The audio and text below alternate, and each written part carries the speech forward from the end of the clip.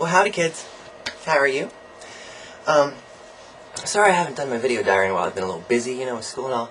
But that's actually why I'm here. Because this is my first week of school.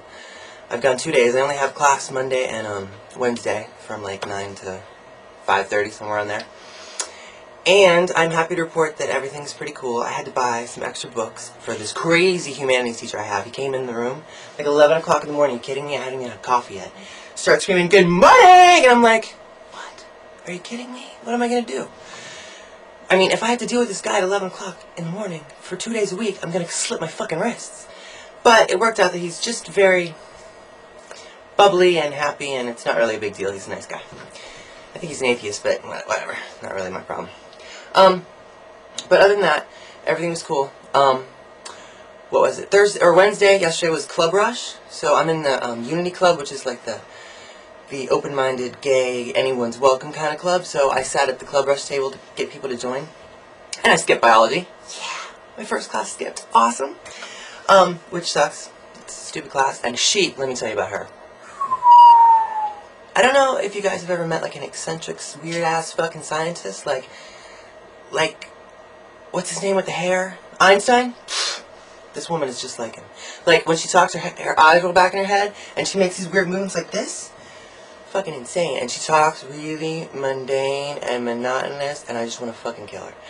But it's biology, and I have no problem in biology, so I'm not even going to go to class. Just going to go for tests, and that's it. Oh, anyway, so I went to Club Rush, and, um, like, two people came to the table. It was kind of embarrassing. So apparently I don't have a big gay population at my school, but that's alright. There's about 15 members in the club already, so we do a bunch of stuff. And it was funny, we, we were right next to the libertarian table. They were Russian people too. And they were trying to get chatty-chatty with me like they're going to be my best friend or some shit. And um, they're like, oh, you know, we heard that there's this house in the Orlando area, and they're having some problems with their neighbors because there apparently there's a voyeur site. I'm like, oh, that'd be me. I live there.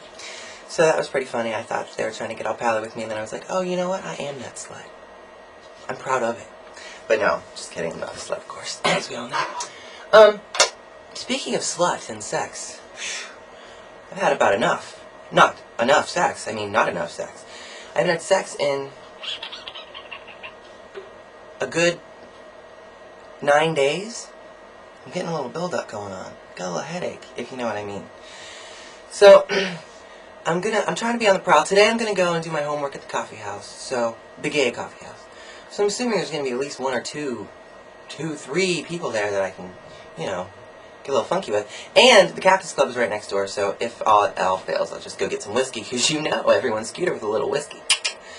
So my problem will be solved.